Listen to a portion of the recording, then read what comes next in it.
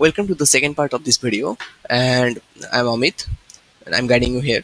So I'm talking about the sidebars okay? This is the sidebar and this is the footer. These things are called widgets. Widgets are like small pages which stays same overall the whole site. Now there are two kind of sidebars one that is being used in the home pages and one that is being used in the other pages. Like this sidebar and this sidebar are different because this sidebar you can see here there is one ad and this sidebar you can see there are two ad. Also in this sidebar there is recent comment then ad. And this sidebar you can see recent comment categories recent post categories tags. And this one is recent post categories tags and recent comments. This is the extra section here. So you can modify this in in different pages. So what i have done i have put two sidebars again i am repeating it. I am putting two sidebars one in the home page because sometimes people put more ads and more other links in the home page and the other sidebar is for the every other pages. So go to the appearance and go to the widget section. You can see the sidebar. This is the default sidebar. This is being used in the every pages. This is the default one. So first text. This one is the facebook link this facebook section. Don't mess with that. This one is a recent post. This one is the category. This one is a tag cloud. This one is a recent comment. Suppose i don't want the recent comment i'm deleting it. And this one is a google ad. So as far you were saying I'm, i am deleting this section. So after you make your own ads you can just put your own ad there okay?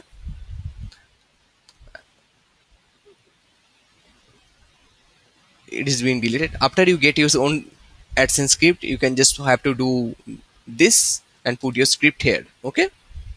That's all. And hit save. Now see what happened. I am refreshing this page. And also see this. Footer column 1 2 3 4 which is footer column 1 2 3 4 okay? 1 2 3 4 look at the footer column thing. A custom menu. Your menu in the upper side is showing here so let's say i want to delete that part and i i want to put the facebook section here. So i'm deleting this section. I am putting a text section here and i am copying this code and putting this code here and hitting save. I'm writing here like us in Facebook.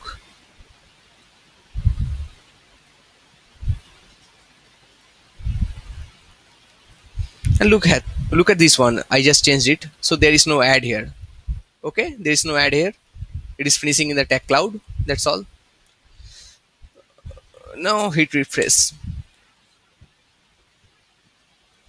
Now this sidebar page, this is the home page one this one so I am deleting the ads apps you has mentioned in the freelancer.com I have deleted them and you can change it for yourself let it come and there is a suggestion that don't use images which are more than 1 MB because your site will be stuck if I'm opening your site and there is an image of 1 MB and I'm in the good inter bad internet, then I'm in hell, right? Because most of the people are in the bad internet. Even though it is 4G, there are more people who are using in the 2G. So leave that. Mm, let me show the thing I'm wanting to show you. And look at here. The Facebook thing is here, right? Now let's customize this part. I'm showing you how to customize this. Facebook page plugin.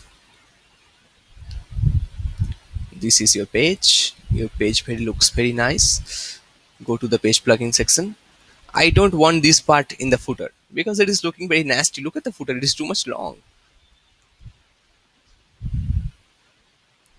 uh, slow slow. My internet is pretty slow. Forgive me.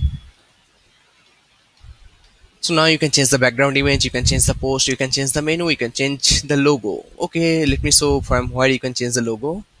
Go to the code options go to the logo section. You can see the options here okay? And please use the same size of the logo. This is called the sticky logo. And this is called the main logo look at the face plugin in facebook. Put your page link here. Let it come it is spinning. Okay logo normal logo light logo dark logo sticky and everything blah blah blah. You can see it.